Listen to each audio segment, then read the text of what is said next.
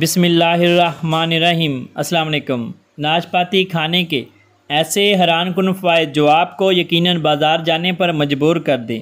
नाशपाती इंसानी सेहत के लिए इतनी मफीद है। अगर आप ये वीडियो मुकम्मल देख लें तो नाशपाती खाना भूलेंगे नहीं। इस हवाले से आल रसूल सल्लल्लाहु अलैहि वसल्लम की बहुत बड़ी हस्ती, हमारे आका, हमारे सरों के ताज, हमारे राहबर, हमारे रहनुमा हज़रत इमाम जाफ़र सादक सलाम फरमाते हैं नाशपाती मैदे को मज़बूत करती है और इसे ताकत देती है। नाशपाती और सफ़र जल बराबर हैं। नाशपाती सैर होने के बाद और सफ़र जल यानी बही खाने से कबल खाने से ज़्यादा फ़ायदा होता है, जिससे बोझलपन यानी दिल घटने की बीमारी हो।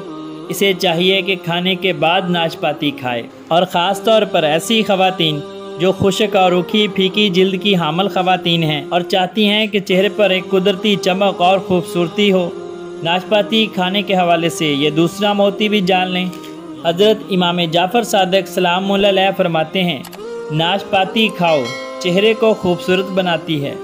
एक शख्स ने हज़रत इमाम जाफ़र सादक सलाम से शिकायत की कि उसे दिल में तकलीफ़ होती है।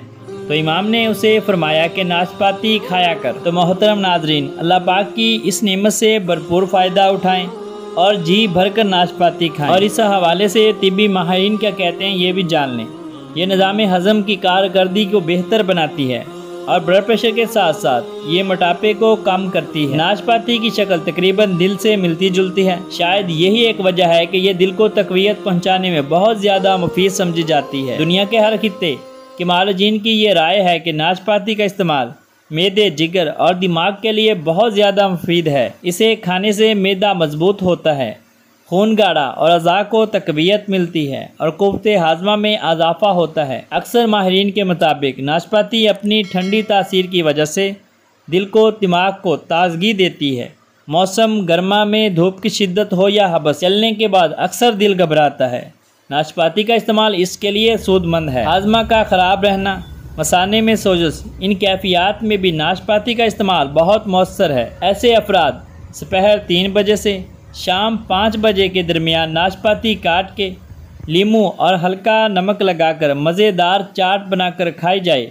तो इस चाट के चंद रोज़ के इस्तेमाल से ही हाजमा दुरुस्त हो जाता है। पेशाब की जलन हो या मसाने में गर्मी इनशाला ख़त्म हो जाएगी। मर्दों खातन के पोशीदा अमराज में भी बहुत ज़्यादा मुफीद है। उम्मीद करता हूँ आप आज से नाशपाती का इस्तेमाल ज़रूर करेंगे और इनशाला सेहतमंद रहेंगे। मिलते हैं एक नई वीडियो के साथ। तब तक के लिए मैं अपने मोहतरम नाजरीन से इजाज़त चाहूँगा। अल्लाह हाफिज़।